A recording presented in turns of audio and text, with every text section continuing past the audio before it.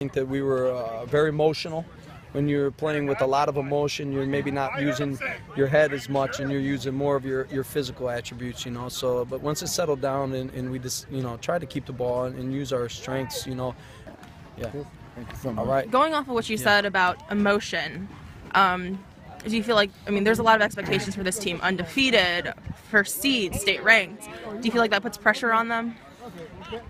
Yeah, I do. I, I think that you know it puts pressure on the you know maybe not necessarily from our standpoint, but also from we're going to get every team's best. You know, especially being in the tournament and, and being in the situation where we're at. I I think that we get a lot of teams' best effort. Um, they're going to get up for us every single game. Um, I'd rather be in a situation where we are right now than in the bottom, kind of looking up. You know, so you know, I get again, you know, it's another another example of how we have to help them through these situations that we had been in before to help these you know these young guys deal with